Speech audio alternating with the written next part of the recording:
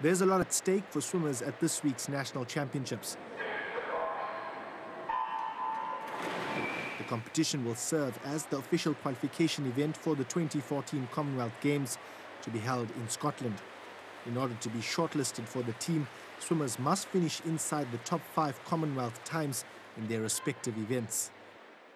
The criteria for the Commonwealth Games is uh, top five in, in, the Commonwealth, and basically the times that uh, we've set in our qualifying criteria are linked very much to, to that uh, qualifying criteria that was set by SASCOC. So the swimmers have to make a particular time uh, to qualify for those events. Swimming South Africa President Jace Naidoo says a core group of swimmers are expected to make the squad.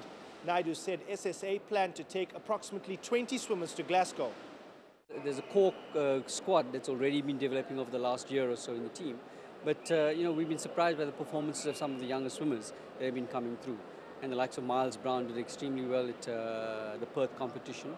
And we're hoping that uh, there'll be a lot more talent that will be unearthed uh, in the next week here. The event, which is headlined by Olympic gold medalists Chad le Clos and Cameron van der Burgh, runs at the Kings Park pool until Saturday. Myron Naicker, Durban. Know more about your world. enca.com.